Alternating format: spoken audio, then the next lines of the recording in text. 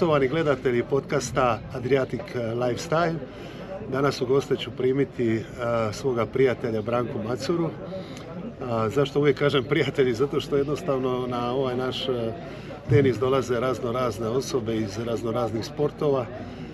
Sve su to ljudi koji su ostavili traga u našem, našem životu, u, našim, u našem Splitu, regiji za koju u biti mi svi navijamo, to je ta regija Adriatik ili Dalmacija u kojoj smo mi. Još jedan put predstavljam Branka Macuru i zamolio bi njega da kaže nešto recimo o tom putu Šibenka Split, kako je to izgledalo doći iz jednog našeg lijepog grada u još veći grad i, ovaj, i kako je to u sportu izgledalo tada Šibenik i sada i tada Split i u odnosu sada Šibenik, sada Split. Evo, još jedan put. Pa evo, na početku pozdravljam gledalce. E, ja sam se počeo košarku stvari u Splitu, u Jugoplastici, 70. godina. Igrao sam u Jugoplastici 8 sezona. Samo ako možeš malo jače. E, Osam sezona sam proveo u Jugoplastici, osvojili smo dva prvenstva bivše države, dva kupa, dva kupa korača. Nakon toga 1979. godine odlazim u Šibenik. U Šibeniku sam proveo 5 godina. To vrijeme je stasao baš i Dražen Petrović. Osvojili smo Osvojili smo prvenstvo Jugoslavije 1983. godine sa protiv Bosne, međutim pod utjecajem političara ta je utakmica bila poništena, trebali smo igrati novu utakmicu u Novom Sadu, vodstvo kluba nije pristalo da idemo igrati oni su bez borbe titulu dodijeli Bosnu. Evo ovako ukratko sam ja sad prošao moju sportsku karijeru. Nije to bilo samo Šibenik Split i obrnuto, nego jesi imao međunarodnu karijeru? Ne, ne, ne. Ja sam, ja sam nakon svoje karijere sportske u Splitu i u plastici otišao u Šibenik i tamo sam proveo pet lijepih godina.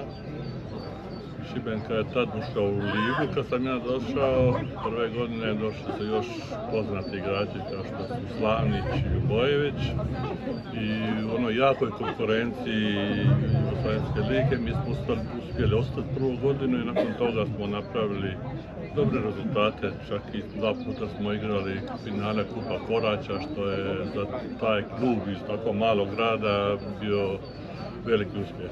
Dobro da te pitam to vezano, kažeš e, mali grad je. E, Šibenik e, tada je bio veliki grad, je? Mislim veliki u smislu, bili ste prvaci. Ne za, za, za bivšu državu, za, za takvu ligu, takav klub ko se pojavio u Jugoslovenskoj ligi je bio napravio veliki rezultat. Prvu godinu smo ostali u ligu, nakon toga smo već bili četvrti, peti u takvoj jakoj ligi, pored takvih kluba što je Cibona, Partizan, Zvijezda, Olimpija, Bosna. Mi bi se izborili, bili smo drugu godinu već peti, pa treći, pa poslije toga prvaci, prije play-offa, pa taj play-off s Bosnom, šta se sve događalo i tako. Tako da je... A, dobro, jedno, jedno potpitanje, jesi li gledao zadnju utakmicu ovoga Šibenika? 2000 gledalaca bilo protiv Cibone. Mislim da taj, taj ne, sport tako malo živne... Ne, u, u, u Šibeniku se strašna, strašan interes je bio za košarku, kad smo mi ostali u ligu i tako. Vodena koja prima objektivno znam, tisuću, tisuću sljedećih mjesta, a na njoj bi se natiskalo 3000 ljudi. Ja sam čak jednom momentu pričao, neko me je pitao, takav interes je bio za, za utakmice, da žena koja je u kiosku prodavala e, karte za, za utakmice, da su nju, takav je pritisak bio navijača, da su izvrnili taj kiosk i ženu u kiosku tako da su nakon toga odlučili prodavati karte na stadionu Šuvićevca, nogometnog kluba gdje su one kapunjere male. više tako da nije, e, tako da je to su interesantni detalji sa, sa tih utakmica. mene, meni je e, jako interesantno, mislim i ovaj podcast naš je bio vezan, mislim u startu e, planirali smo da se veže prvo u sport, a onda uz ostale ove, životne situacije kad i ostali dijelovi društva mogu učestvovati. A mene zanima, imao sam pitanje nedavno jedno ovaj, na radio Ultri, kaže zašto u našoj regiji ili u Splitu, zašto toliko puno talenata i tako ja sam to duše malo vratio u, ranu povijest pa sam rekao da toga što Dalmatinci su kao iznimno narod visoki sportaši, krš, uvijek je to trebalo se boriti. To je to pa onda, dinarski, dinarski kraj. Da, dinarski kraj. Iako ja to ne bi, mislim, pošto ja obožavam Dalmaciju, ne bih sveo samo na Dalmaciju, to je i Hrvatska, to je i ne Srbija, Bosna, Makedonija. Svi smo mi nekako ovaj, sportivo. jedna komparacija i jedno pitanje za tebe, ti zlatni dani ovaj, košarke, je li je to moguće da se vrate na te stare dane ili, ili zašto je taj pad vezan za popularnost košarke. Naime, imamo NBA koji je najbolji, jedan od najbolje plaćenih sportova na svijetu, a vamo evropski gledano to je sve palo. Pa sad pitate nešto iznad Dalmacije, koje je tvoje razmišljanje? Pa činjenica, je, činjenica je da je košarka u odnosu na nogomet da najviše pala. Činjenica je. To ima više razloga. Jedan od razloga je najvećih što puno mladih igrača iz Hrvatske već sa 17-18 godina odlazi van. To se prije nije moglo dogoditi. Prije su u moje vrijeme igrači mogli otići tek sa 28 godina van.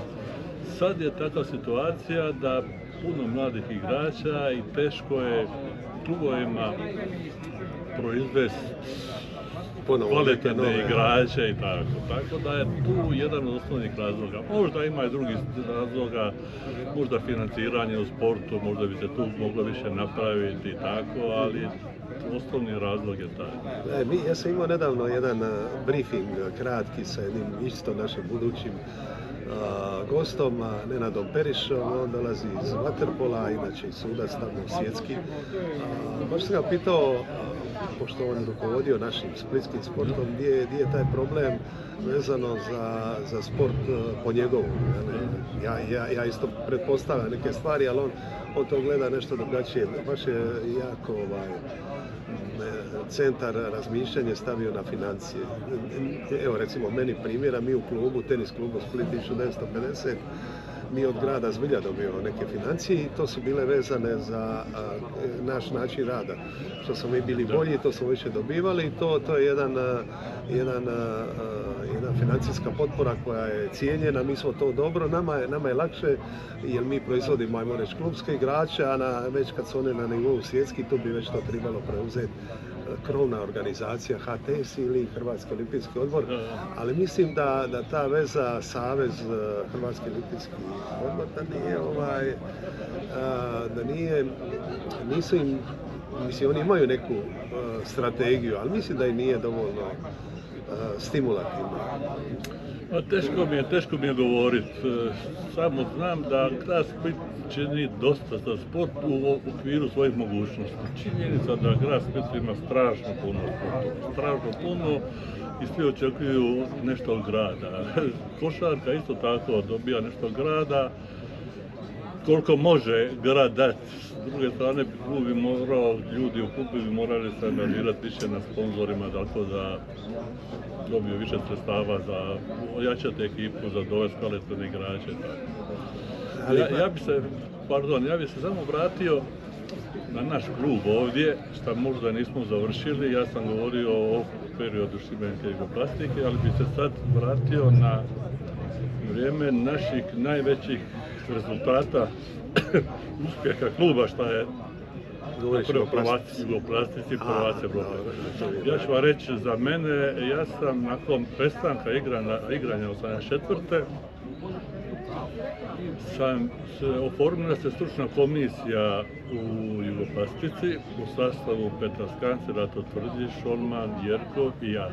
I nas pet smo vodili stručnu politiku kluba to vrijeme kad su sazrijevali ovi mladi igrače Koč Rađa, Perastović i tako.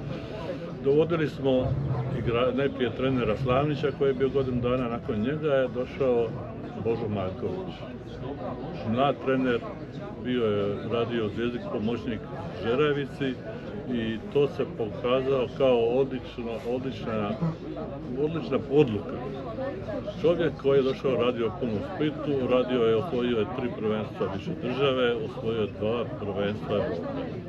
To su zbilja, kažem, najveći rezultati što je naš klub postigao u tom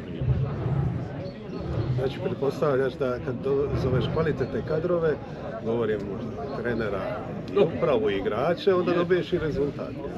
Zbilja, zbilja se sve posložilo u tom vremenu. Ima si zbilja odličnu upravu, odličnog trenera. Dobro, situacija je bila drugčija, bila je viša država, gdje si ti financije. i stabilne financije i mogao se igrača dovoditi sa područja Jugoslavije. Tako da smo imali Ivanovića iz Crne Gore, Savića došao iz Bosne, Stratenović je došao iz Srbije i isklopila se jedna zbilja dobra, dobra generacija sa našim mladim igračima koji su tad počinjali, to je Kukuć i Rađa. I na kraju se pokazalo da su to bili zbilja vrhunski igrači što su pokazali i u NBA ligi gdje su zbilja ostavili trage. Može, ali vidi sad, sad se pojavilo jedno novo pitanje. Da nama nije, nije da se mi uspoređujemo sa Srbima. Ali Srbi imaju sad ovo Partizan Crveno zvijezdu, imaju puna gledališta. A, sad mi možemo reći kao oni to bolje prate tu košar. Govorimo u Srbiji odnosu na Hrvatsku. A s druge strane primijetim prva petorka recimo da su ovaj, vidi se da su stranci. E, ko, koja je tu kombinacija dobiti M, M, recimo da su multikulturalni i dobijemo, i uvezemo neke igrače iz vanka, a, a da ostavimo taj zdravo tkivo. Je li to moguće ili, ili jednostavno pa, kapitalizam ide? Startu, reću vam u startu neke relacije. Na primjer, Split ima budžet od pola miliona eura, Partizan i Zvijezda imaju budžet između 12 i 15 miliona eura. Znači da oni mogu dovesti igrače od milijon, dva miliona eura, a mi dovedemo igrače od 5-6 tisuća eura. To je mjesečno.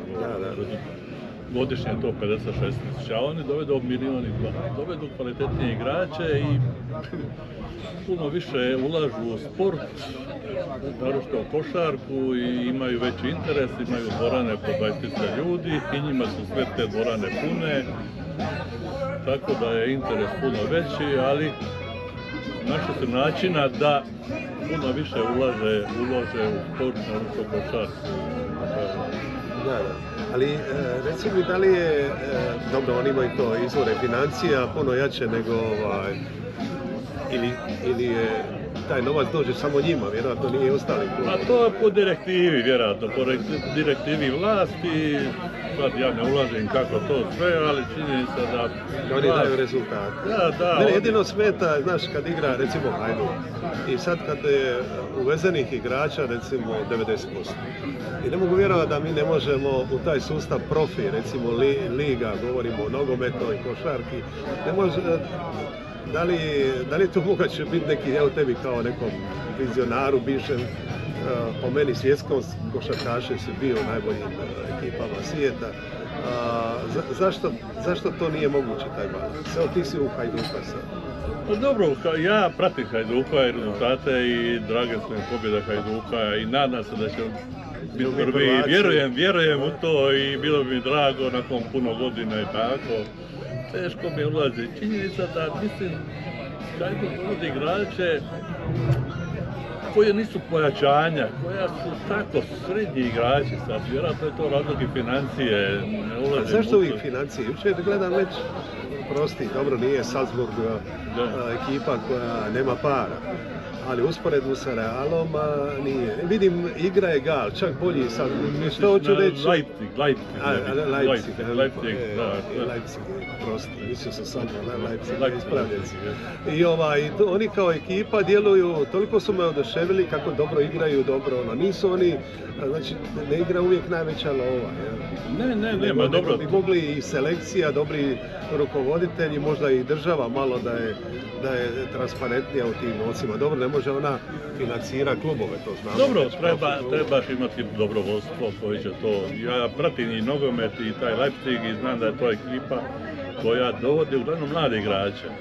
Sjetite samo da, da su doveli Jolma iz Dinama, da su doveli Guardiola, da su doveli Šeška, mislim da se zove ovaj iz Slovenije koji je potentan igrač. Mhm. Znači njihova je politika dovoditi mlade igrače, dovoditi, stvarati ekipe mlad, od mladih Da, ima igrača znanje i i stvaranje. i kad dođe moment, kao što je došao moment Guardiola, za velike novce ga prodati. I tako funkcioniraju, prate, imaju skaute, poput sigurno cijelom svijetu. Dobro, evo sad pod pitanje još jedno. je. Imamo mi, mi jedan taj sustav smo imali prije, to je Hajduk. Hajduk kaže jedno vrijeme da smo bili bolji i od uh, jedne od najboljih škola u Europi. Ne znam, Ajax je učio od nas i tako dalje. Ima, imaš ti recimo koji si bio u takvim klubovima gdje su takve zvijezde i vidi se u povijest su ostavili traga u košarci. Za- zašto to nije moguće da mi vratimo ili da ponovo dobijemo? Mislim, Pa- nije problem da, evo recimo nogometni klub Šibenik, nogometni klub Da. govorim, bio ligi i ispao. Mislim, znaš, ono, zašto oni ne nastave dalje? Koji je problem tih manjih, re- e, e, manjih klubova, manjih, iz Dobro. manjih regija dolaze? Nije sve u novcu. znaš. Ma je, dobro, to je vodstvo kluba, sposobnost ljudi da, da, da vode pravilno klub, da, dovedu mlade igrače, da dovedu prave igrače, to je, to je malo dublji problem, ja ne mogu... A ti si bio sad u ovim, kažem, strukturama i- Jugoplastike bivše, sadašnje kaka Splita. Je li moguće da, da od vas, legendarnih ovaj, košarkaša, pa se izaberu ti ljudi koji razumiju priču? Pazi, onaj ko razumije, svi, svi znaju da on razumije. Da vam kažem. Ne, mo- ne, ne, ne mogu vjerovati da politika toliko može, ajmo reći, birat lošega, a može birat dobro. Što se tiče nas starijih igrača, mi smo bili do prije deseta godina uključeni u klubu i u stručnoj komisiji i tako. Međutim, mi smo već stariji, sad dolaze mlađe generacije ljudi i oni vode.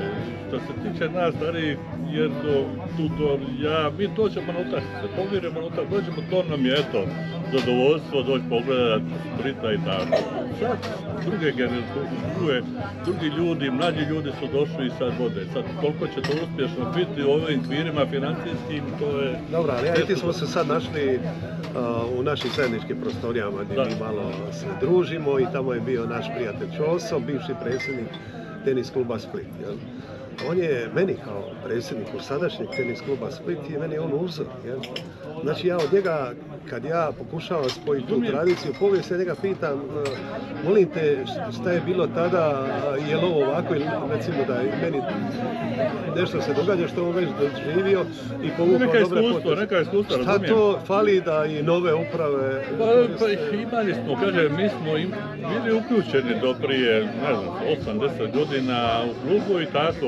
Međutim, sad, kaže, dolaze nove Misliš da se mladi generacije. boje starih? Ne, ne, da se boje, nego ima tih mladih ljudi koji se mogu, bivši igrača, evo sad je sportski direktor kluba Teo Čizmić koji je bio igrač plastike, bio je trener.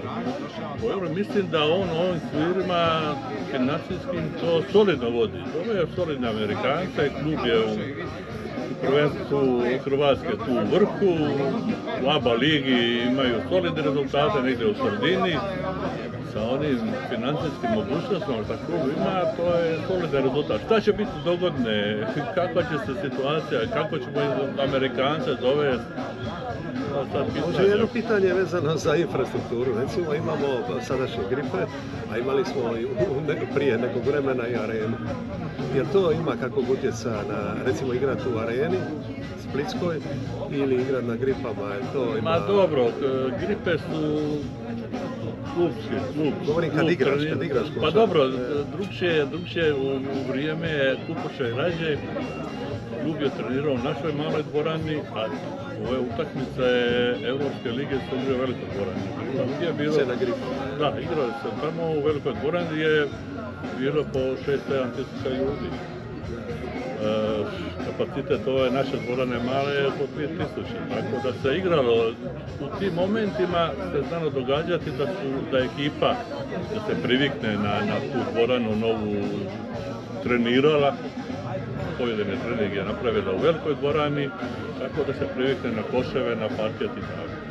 100% iskustva iz tog vremena. Što se tiče velike dvorane dole u Lori, jedne godine ili dvije godine se pokušalo igrati dole, ali nije, nije interes takav veliki kao me Znači ne možeš e, stvoriti štimung da, da. za utakmicu. Lakše se stvori štimung u manje dvorani gdje ti dođe 2000 ljudi i onda je atmosfera godnija za igračima i dražije mi igrati. Tako atmosfere nego u dvorani velikoj gdje može sad 13 tisuća, a dođe 2000. Dobro, reci mi, kad, kad si igrao i sad, kakve veze ima ono, ti si igrao pa si došao sad na tenis, kako je tu poveznica?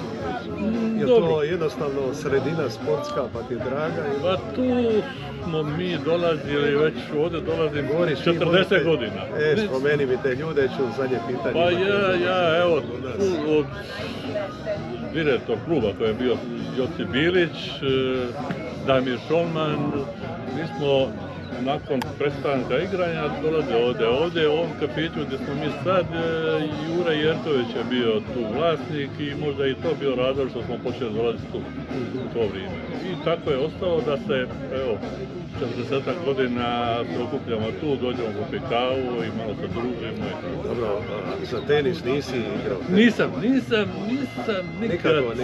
Provao sam, pa ovi su već bili napred, otišli Damir, Biba, moj prijatelj Alba i tako, već su bili otišli, tako da ne, sad ću spomenuti. Dobro, pitanje te sportaš i staneš sa sportom. Jesi ti stao ili... ili e, ovako, ovako, dosta šetam na Marijanu. Ja sam jučer napio 6000 km na Marijanu. Znači ne daš se? E, inače, jedan put sedmično i dva put sedmično idemo u Zagoru gore, Čaporica, igramo balate. Da, to se jede. Da, to, ali dobro, družimo se, jedemo, igramo balate i tako na zraku, to, to nam je ugodno, druženje. Da bi ja završio razgovor s tebom, jedno je ključno, ključni dio razgovora za mene osobno, vjerojatno i za tebe, to je naš prijatelj Damir Šorman, Šorman koji pokojni. A, znaš, kad se on pojavio na tenisu i počeo malo igrati rekreativno, moje upoznavanje sa vama, moje upoznavanje s njim, a, cijeli moj život sam ja razmišljao ko bi mi mogao biti uzor da li neki u bogatoj e, limuzini, znaš, od 200 na 300 što dolaze ovdje, a, da li neka zvijezda, mega zvijezda ili neko drugi. I na kraju je taj treći, Damir Šoman. I naš dragi prijatelj, e, ovaj, e, u razgovoru s njim nevjerovatno da riječ gospodin možeš vezati uz nekoga, jel? ali njega ne, čak ne možeš reći gospodin jer, jer on je iznad toga. On, on je bio on je bio čovjek koji jednostavno kad bi rekao tu riječ, to, to, bi moglo biti to i još više od toga. Koji čovjek, koje, koji, koja Pa manje, više sve ste rekli o njemu. Sve ste rekli. Ja njega poznam preko 50 godina. Što kroz jugoplastiku. Pa da li je takav bio dok je igrao? Ili... Ma on je bio, eto, gospodin na, na parketu. Što to znači gospodin ako sipa 30 koševa? Sportaš, gospodin, ma sve je on bio. Evo, kažem, družili smo se tu, žao mi je šta je, šta je otišao tako, evo, nepuni godinu dana, svaki dan smo bili tu na kavi, skoro 40 godina. I sad, kad ljubite prijatelja, s kojim se bio na parketu, s kojim se druži, zbilja mi bilo teško, ali je čovjek koji će mi ostati u dragoj uspomeni ja, ja ti još jedan put govorim, jednostavno uzori danas u Hrvatskoj, taj, taj smisao uzor ti uvijek gledaš čovjeka koji ima Ferrarija, da li je neki bivši privrednik pa je prodao sve pa kupi ove, neka sredstva. To sam vidio kod nas na tenisu, znaš, ko vozi dobro uvijek uz njega. Ali ljudi nikako ne razumiju da je da u ovome, ovome svijeta, u ovome sve to isprazno. Mislim da su ti kapitalizam koji je došao nakon 90 u naš sport unio dosta negativnosti. Najgore što, što, što velika populacija ljudi to, to, to prima. A onda takvi uzori koji ti si bio s tim i ja, on meni kad prođe, meni, ja njega kad vidim, meni dan ovaj, Damir je, Damir je bio, bio sportska veličina i kao čovjek i kao sportaš sve naj, najbolje. Znači, ti- ja, ja bi osobno znači, preporučio, a jer ti djeci, dje- gledajte uzore u, u ljudima, ne koji naprave karijeru, imaju novce, nego koji naprave karijeru i imaju nešto ljudskosti u sebi, ne nešto, puno ljudskosti Je, u sebi. je. Sportska veličina. Eto, zahvaljujem na današnjem razgovoru mom prijatelju i, i po meni velikom sportašu. Da ne kaže, nekoliko puta sam ga gledao na televiziji, jako ovaj, stručan.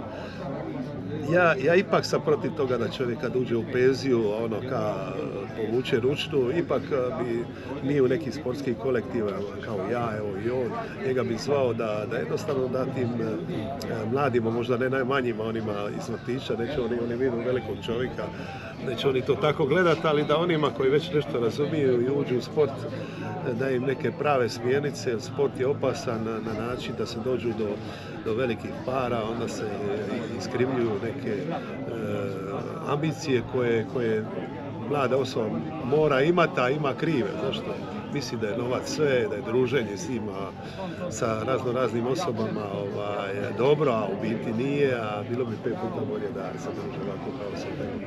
Drago mi je, drago mi je da sam bio gost podcasta vašeg podcasta. i da. Adriatic Lifestyle. Je nam lijepo, evo ovo je Adriatic. Puno hvala, dođenja.